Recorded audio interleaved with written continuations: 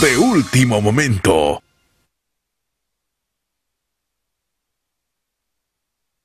Las 20 horas del día miércoles a las 18 horas del día de hoy, jueves 26 de marzo, se han reportado 22 nuevos casos de COVID-19, de los cuales 10 corresponden a la ciudad de Santa Cruz de la Sierra, 7 a la ciudad de Cochabamba, 4 a la ciudad de La Paz, 1 en Porosí. De acuerdo a este número, tendríamos en el país 61 casos reportados positivos. En el siguiente detalle, Santa Cruz, 10 casos, casos importados 2, paciente de nacionalidad italiana, de sexo masculino de 68 años de edad, que procede de Italia, se encuentra bajo aislamiento. Otra paciente boliviana de sexo femenino de 48 años de edad, procedente de Estados Unidos.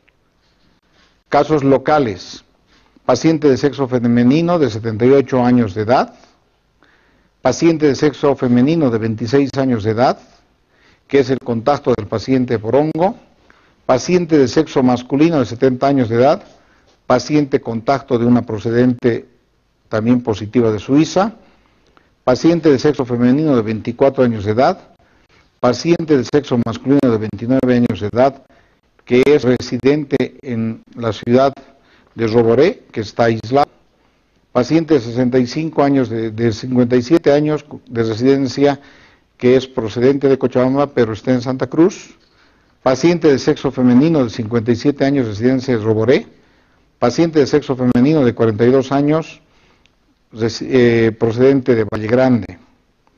Todos estos son casos con caso contacto positivo.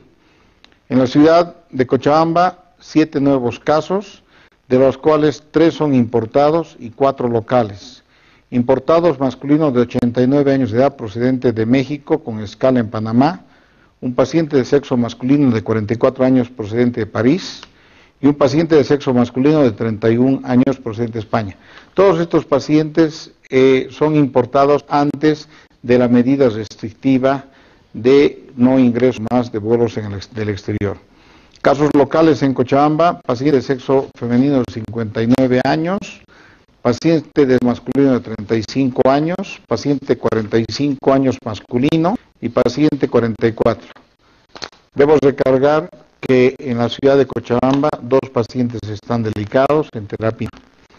Adicionalmente, se reportó el resultado de otro caso positivo que corresponde al laboratorio del primer paciente que llegó a Cochabamba, contacto con la paciente de Oruro. En La Paz, cuatro nuevos casos importados, dos, paciente masculino de 49 años porque procede de Miami, otro paciente de sexo femenino de 19 años procedente de los Estados Unidos,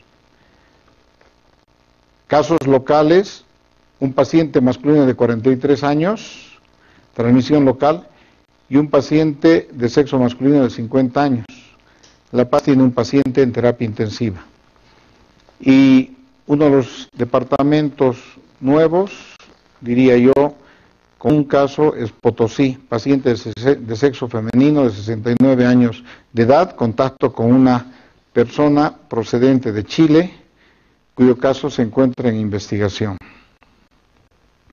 El número total de casos en el país es de 61 casos.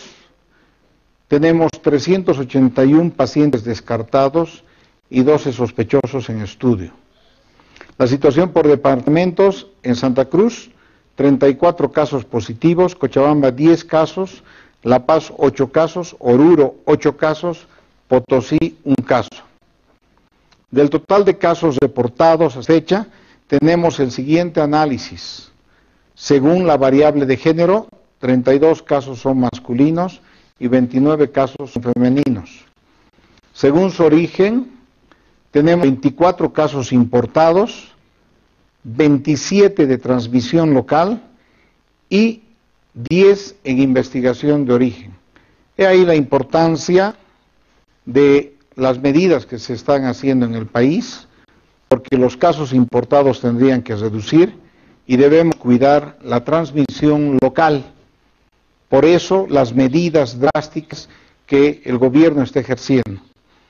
Según el Departamento de Notificación, Cochabamba cuatro casos importados, tres locales y tres en investigación. La Paz, cuatro casos importados, uno local y tres en investigación. Oruro, un caso importado y siete locales. Potosí, un caso de transmisión local. Y Santa Cruz, 15 casos importados, 15 locales y cuatro en investigación.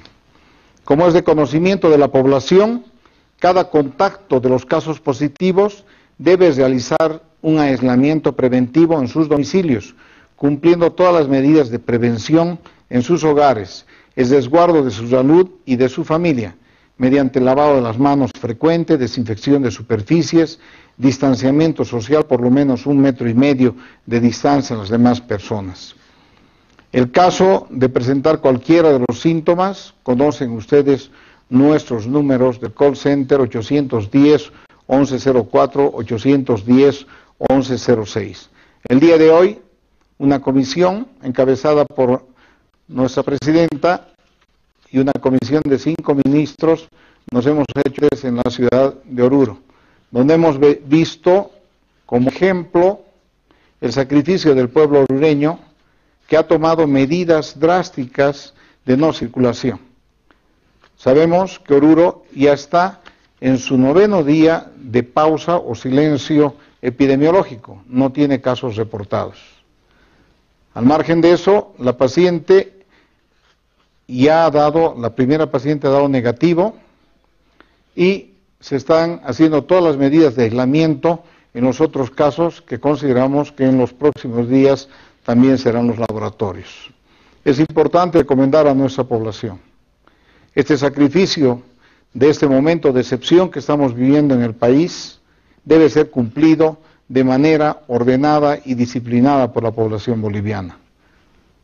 Solo así vamos a poder contener, porque de otra manera el salir a la calle, el no tener las medidas preventivas, va a hacer de que estos números de contacto aumenten y pues necesitemos otras medidas de importancia sanitaria que puedan este brote que por lo menos en este último tiempo ha estado teniendo una curva de comportamiento baja en nuestro país en relación a los otros países.